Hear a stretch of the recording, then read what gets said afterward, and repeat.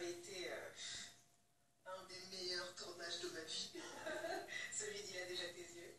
Et euh, que bah, je garde en mémoire évidemment tous ces moments où Lucien nous a fait des discours, parce qu'il faut savoir que Lucien est un grand, grand, grand amateur de discours. Il nous faut euh, pas plus de deux secondes en général pour en improviser un. Il monte sur une chaise, il prend un verre, une fourchette, il demande le silence et puis là il se lance. Il y a eu une seule fois où